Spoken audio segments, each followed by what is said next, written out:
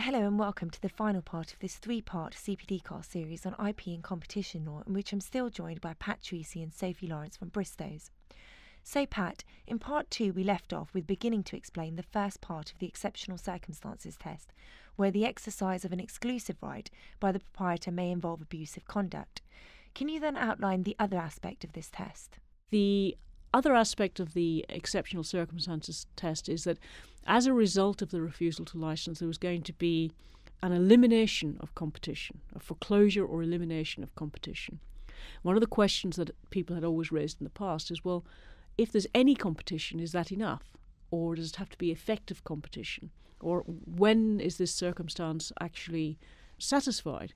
And again, the Microsoft case is interesting because what the Commission and the Court of First Instance held was that you didn't have to wait until all competition had been eliminated. That would be pointless. If you could show that as a result of the conduct in question, it was likely that over time competition would be significantly less effective, and actually it might well be that it could ultimately disappear, that would be sufficient. And then finally, the Commission had to be satisfied that there was no objective justification, that Microsoft had no objective commercial reasons for refusing to license its intellectual property rights. And the Commission said, and again the Court of First Instance agreed, that simply saying, well, it's my intellectual property is not sufficient. Because, of course, that's what the exceptional circumstances are trying to get to. Of course, it's your intellectual property. You need to tell me more than that. There has to be a different objective justification for the refusal to license. And the Microsoft case is really a very interesting case because in the 20 years since Magill, or a bit less than 20 years since Magill, the exceptional circumstances test has evolved and changed. And in Microsoft, we do see a situation where some of the, the barriers that had to be overcome in order to justify compulsory licensing seem to be a little more flexible than we would have thought. So if you've got to have a new product, but it doesn't have to be that new, we've got to be able to eliminate competition, but not all competition, and you just need to be able to foresee that it will be eliminated. And the information or the IP has to be indispensable. Well, there were server products on the market. You know, the information wasn't that indispensable. And the Microsoft case was one of those situations where I think there's an old saying in English law that hard cases make bad law. I think there was a feeling abroad that perhaps Microsoft was doing something that wasn't quite right, and it didn't quite fit within any of the tests that had previously been applied. So the tests have been flexed a little bit. But of course, the consequence of that is now that the next time we have an exceptional circumstances case, perhaps the tests will be flexed yet more because over the time since Magill, it's been interesting to see that the cases just immediately prior to Magill were two cases called Volvo and Veng and Re- Renault against Maxicar. And in those cases, it was quite clear that the Court of Justice said, you know, simply refusing to license is not an abuse. And it is foreseeable there might be some exceptional circumstances where it might be possible. But the whole wording and language used by the court was, well, we can't really think of that many, but there might be some. And over the time since Volvo and Veng to Microsoft, we can see a sort of little by little, as the conditions have become more and more worked upon, and as people have tried to put more flesh on the bones of what exceptional circumstances might mean, it's fair to say that the hurdles haven't become any higher. How can the acquisition of IP be an abuse? There have been far fewer cases on acquisition of IP. And again, it seems surprising looking at it that acquiring an IP right, so for example, by paying to buy a patent or have an assignment of a patent, it seems surprising that that can be an abuse. However, there has been a case where that has been found to be the case. In the Tetra Pak case, this is going back 20 years or so, it was held to be an abuse that Tetra Pak, which had a very strong dominant position, pretty much a monopoly position in um, certain packaging, it acquired the only other available technology. And the European Commission, upheld by the General Court, or Court of First Instance as it was at the time, um, held that that was an abuse because it effectively prevented all continuing competition from any other party against the monopolist, as it was Tetra Pak. Why is this of interest? It's just a single case. Well, I think we can foresee with the Commission's interest in IP issues, particularly in the pharmaceutical sector, that there may be further cases of this type. And I think companies, particularly if they have a very strong dominant position and there's limited other competing technologies, they need to be very cautious if they then acquire those technologies. The European Telecommunications Standards Institute was founded in 1988. Pat, can you just explain what the purpose of this was more generally? I can, and I'll try and put it in context for this discussion as well. The European Telecommunications Standards Institute is a European standardization body. And the point of ETSI, as people refer to it, is to ensure the development of harmonized standards for telecommunication products, particularly mobile, but not just, across Europe. Why is this important? Well, it's important because the European Commission foresaw that if Europe was to become a strong player and have a unified market, it would need to have harmonized standards so that products could easily move. You know, if you have your mobile phone in the UK, it's not much use if you can't actually use it in Belgium or France or Germany. And equally, the markets would be very small and very difficult to manufacture for. So the concept was to build a standard which could be adopted by everyone so that people could compete to build better products but all able to interoperate with each other. And as a consequence of the work of ETSI and, and other standardization bodies worldwide, in the mobile telephony sector, there now are a series of global standards with which all products have to comply.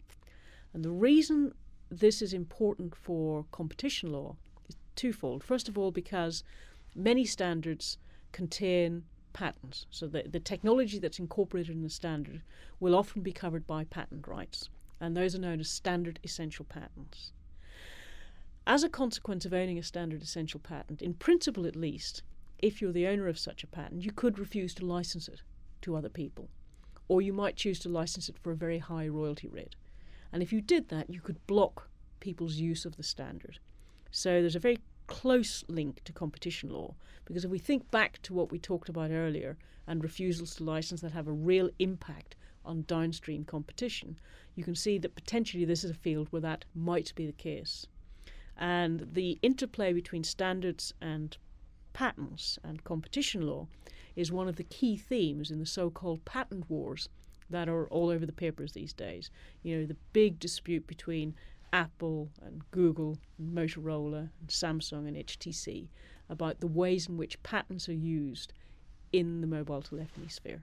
What does fair, reasonable, and non discriminatory mean then? Fair, reasonable, and non discriminatory means many things to many people, but in this particular context, one of the ways that the uh, standardization bodies have tried to deal with this problem of potential non access to standard essential patents is to say if you want to be a member of our SSO, and if you want to contribute technology to the standard, then we will ask you to give an undertaking that if your technology is incorporated in the standard, you will be willing to license that technology to all comers on fair, reasonable, and non discriminatory terms. So that's where the, the concept comes from. It's actually quite closely linked to competition law in some ways because some of the cases that we've had under Article 102 for licensing of technology have talked about giving access to compulsory licensing on fair, reasonable, and, and non discriminatory terms. So, if you look at, for example, the Microsoft case that we talked about, when Microsoft was ordered to give access to its interoperability information, the Commission ordered it to do so on fair, reasonable, and non discriminatory terms. So it's a phrase that has come up in the competition law context and has also been used in a very specific way in the context of mobile telephony standardization.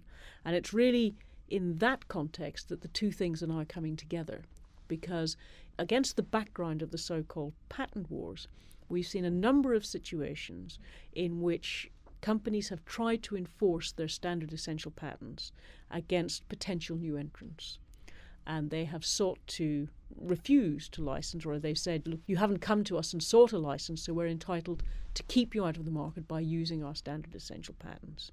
And they're met by the defence that, no, no, that, that can't be right because you have undertaken to license those patents to us on fair, reasonable, and non discriminatory terms. And if you don't give us that license, then first of all, you're in breach of your contractual obligations to ETSI because you made a promise. And secondly, because your standard essential patent gives you the right to exclude us from the market entirely, you're also in breach of competition law. And so you think you see the two concepts come together.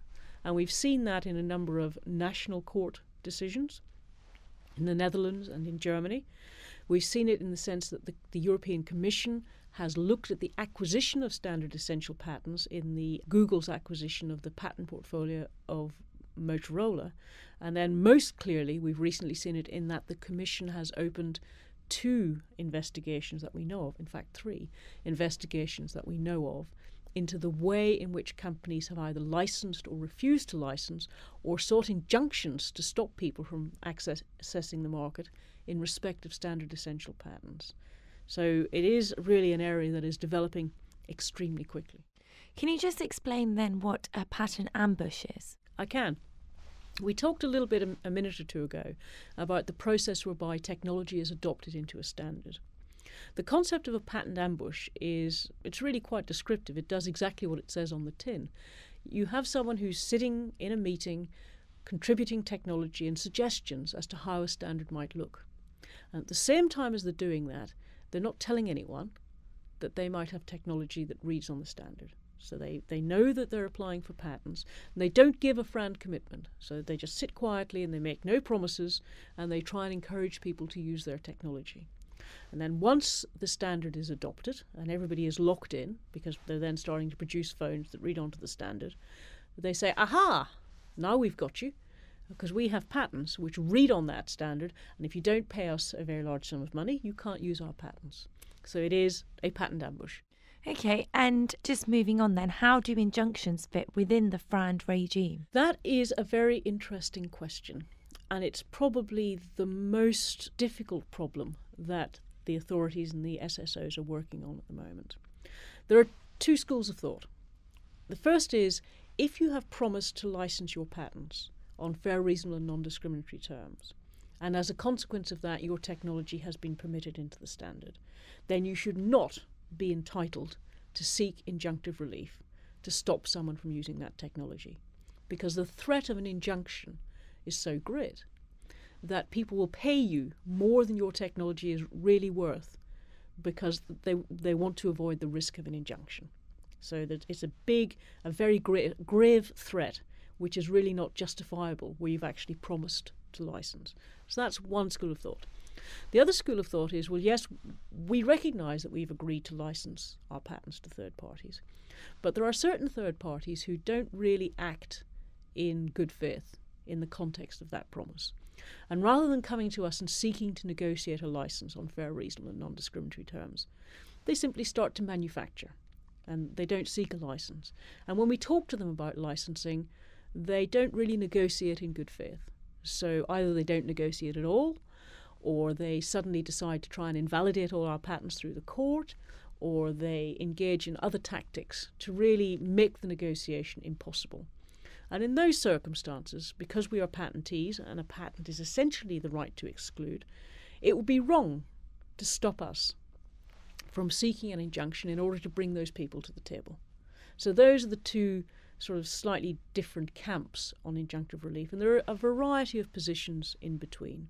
And I think one of the principal things that the European Commission and also the uh, the US FTC and the Department of Justice in the US and, and other competition authorities are currently looking at is where to, to find the balance between the right to seek an injunction as a remedy for your the infringement of your patent right and the need to ensure that in the context of standardization where these patents are so valuable and so useful that right is not misused so as to either block people from implementing the standard or to extract unfair royalties to stop them from doing so.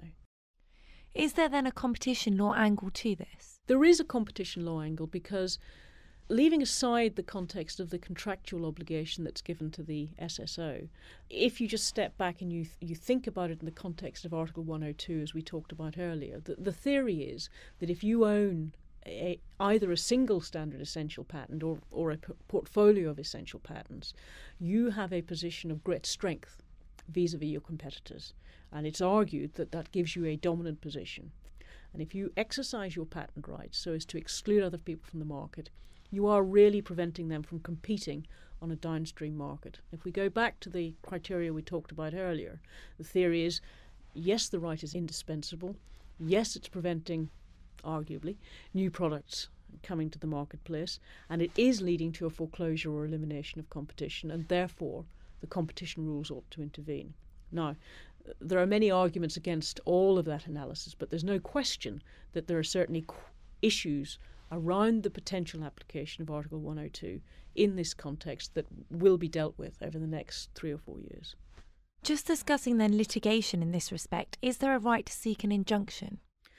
That's a very interesting question as to whether or not injunctive relief is in fact a right. I think, generally speaking, compulsory licensing is not permitted under TRIPS, which is the Trade Related Intellectual Property Settlement Agreement, which is an international treaty except in certain limited circumstances. And you have to show, in order to grant a compulsory license, it must be shown that there's been a case by case analysis of the situation and that the granting of the license is justified, whether by competition law or some other fairly limited grounds.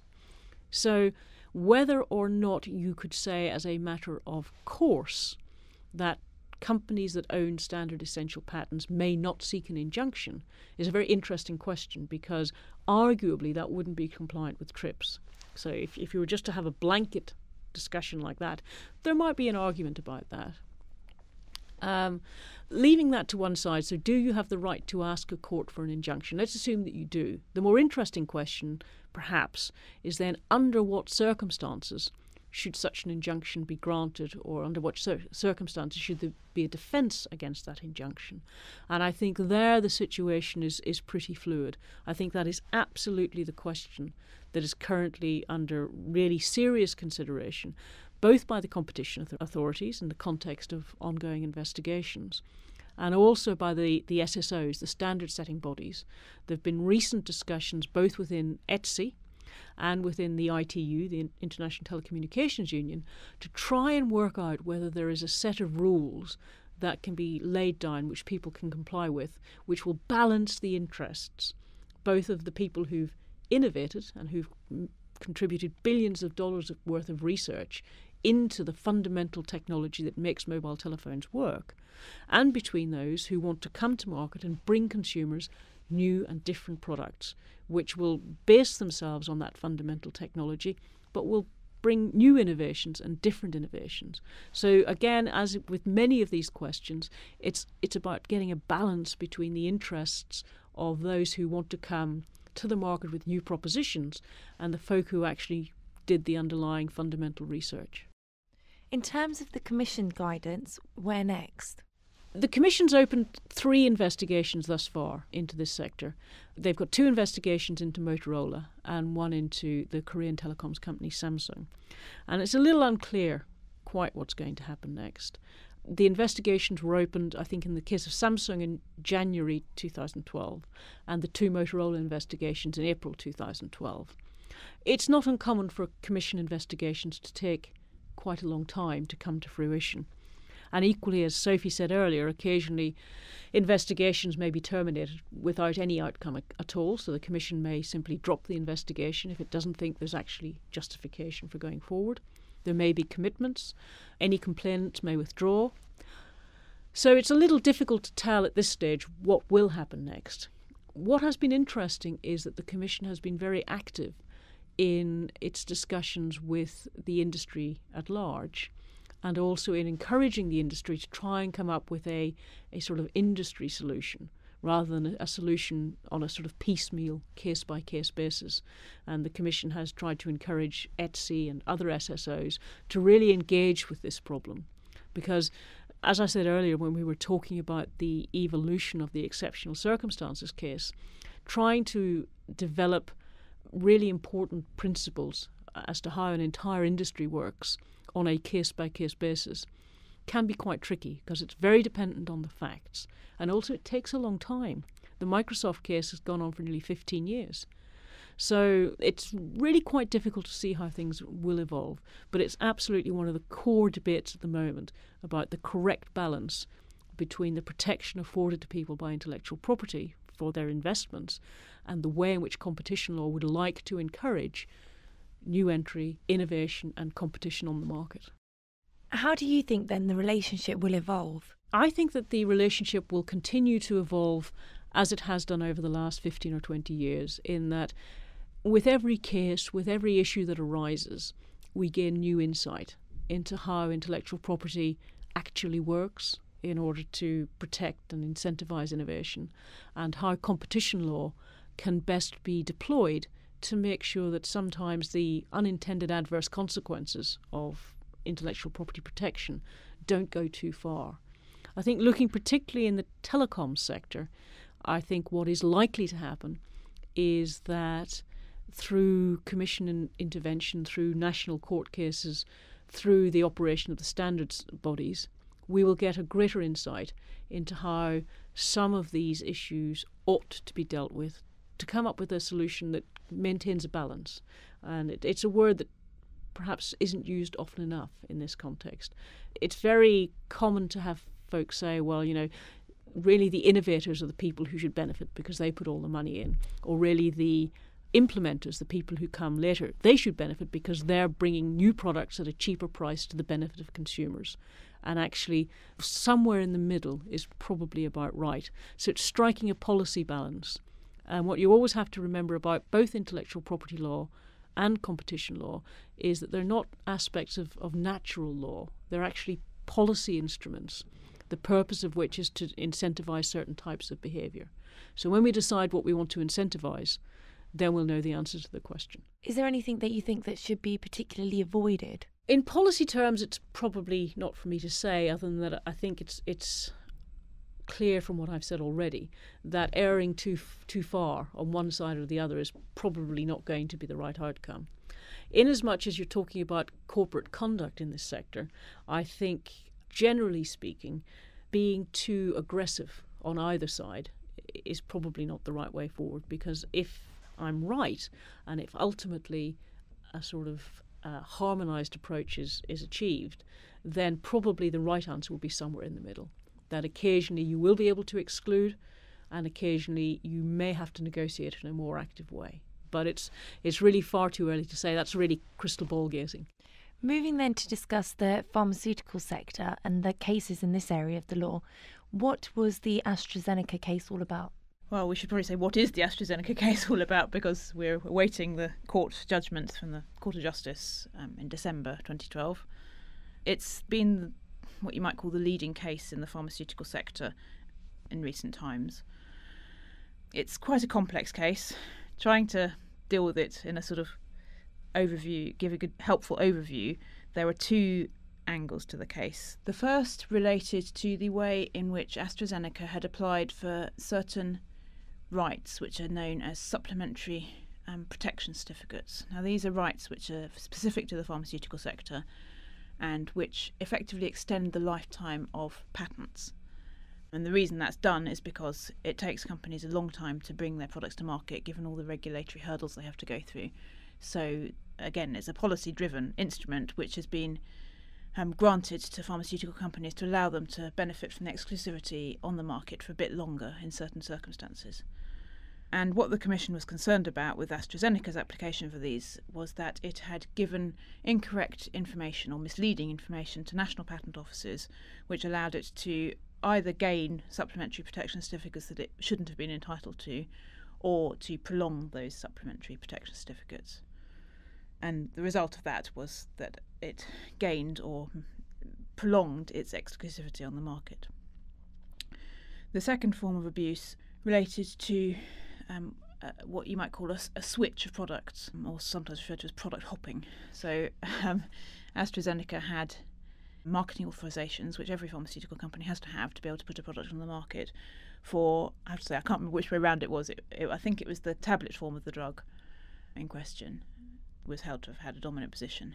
Um, and at a certain point in time, shortly before the expiry of its patents covering that drug, it switched its marketing authorizations to the tablet form. I can't which way around I said. Well, as I said, I can't remember. Which, unfortunately, remember which way around it is at the moment. But it's tablets to capsules or capsules to tablets. The effect would be identical. And what it also did, which is critical, is that it withdrew the existing marketing authorisations for the form which it had switched away from. Now, what's critical about this is that in the pharmaceutical industry, for a generic company to be able to enter the market, it has to produce a product which is bioequivalent and can be proved to be so to the original pharmaceutical product. And by switching away from that original product, the Commission held and was upheld by the General Court in holding that AstraZeneca had prevented generic companies from entering the market. Okay, well, that all sounds very fact specific, Sophie. What should practitioners take home from it? It is highly fact specific, but the key point is the fact that AstraZeneca, which occupied a dominant position, or was held to have done so by the Commission, was taking steps which allowed it to prolong its exclusivity. And that's something that the Commission is very concerned about because generic drugs are massively, vastly cheaper than the original pharmaceutical product. As I mentioned in the first podcast, it's the cost of production of a, of a drug is actually tends to be very low. So once there's no need to pay license fees, and once you've incurred all the sunk costs, the costs associated with developing the product and acquiring the relevant regulatory approvals, drugs can be produced very cheaply, and that's obviously highly beneficial to consumers and to economies, which are to the national health services, which are required to pay for drugs because it means that they can make very significant savings. So, what AstraZeneca was held to have done was to seek ways which it could maintain its exclusive position on the market and thereby very significantly increase the cost for national health services, really, because they weren't benefiting from the generic products which could have come to market without AstraZeneca's actions. So, in looking at pharmaceutical cases, the key point is is the pharmaceutical company doing something which prevents generics from coming to market, and is that something which it's doing legitimate or not? Can you just briefly outline then the recent national cases of interest in this area of the law? There have been two recent cases which have a bearing on this. One of them is a case in Italy in relation to the pharmaceutical company Pfizer, and that was about the way in which it applied for certain divisional patents and again the supplementary protection certificates based on those. And the Italian Competition Authority reached quite an aggressive decision against Pfizer, which unfortunately seemed to be rather short on facts, um, which probably as a consequence of which the Italian Competition Authority has very recently overturned that decision. So that was possibly a case where the competition authorities got it wrong and maybe saw something they didn't like about the conduct, but it really wasn't anything that the competition rules could attach to although I believe there will be a further appeal of that, so you know, watch this space. The other case is a UK case that was in relation to Reckitt Benckiser and the Gaviscon product, not the over the counter one, but a Gaviscon product that is prescription based. And again, it was to do with sort of this idea of product hopping. So, shortly before patent expiry, Reckitt switched its main product from Gaviscon to Gaviscon Plus, I think, I think was the name, of the product and ensured that that was what was listed on doctors' computer systems so that when a doctor wanted to make a prescription for Gaviscon, it was automatically coming up with this new product. And if that hadn't been the case, then the way the National Health Service um, computer systems work, the generic product could have been substituted for the Reckitt product so, by making the switch, Reckitt prevented any significant generic penetration and thereby maintained its position of exclusivity, maintained its high prices, and prevented the National Health Service from benefiting from the lower prices associated with the generic version of the product. So, it's the same sort of underlying principle as as in AstraZeneca. And what does the Commission's pharmaceutical sector inquiry have to say about unilateral conduct? The pharmaceutical sector inquiry was a market investigation carried out by the European Commission into the pharmaceutical sector over a, a few years, concluding four years ago now, with a very long, detailed report, much of which is really sort of gathering of statistics and evidence about the market. However, in that report, the European Commission indicated that it had concerns about some sorts of conduct that pharmaceutical companies engage in. And I should emphasise that the pharmaceutical sector report isn't a competition law decision, and it doesn't even seek to apply competition law in any detailed fashion. But what it does is it gives a number of areas of concern for the European Commission and it gives an indication of areas in which we can expect future decisions to be reached. And probably in terms of unilateral conduct, the key issue that came up in this inquiry was the concept of a toolbox. It's a slightly strange expression But essentially, what the Commission was driving at was that pharmaceutical companies, so we're talking here about the originator companies that develop new drugs, that those companies have a number of tools at their disposal to try and prolong the period of their exclusivity and prevent generic companies from gaining a foothold in the market. So, those sorts of tools would be things that we've talked about, like these product switches. They might be making interventions for regulatory bodies to try and limit the extent to which marketing authorisations are granted for generic products. There are a number of different issues of this kind, which are discussed in the pharmaceutical sector inquiry, and which have given originator companies in the pharmaceutical sector some considerable grounds for concern because there's now this sort of halo of uncertainty around these practices, which it's not yet entirely clear how that's going to play out in terms of actual black letter law in the future.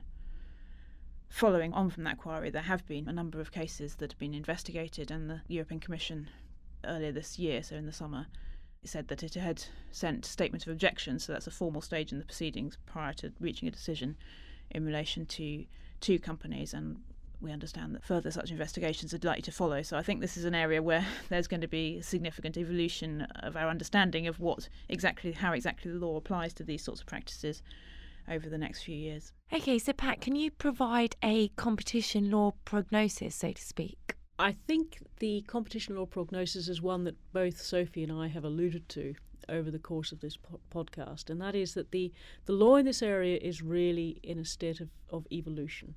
The issues are very complex because they're to do with really the cutting edge interface between two quite assertive areas of law.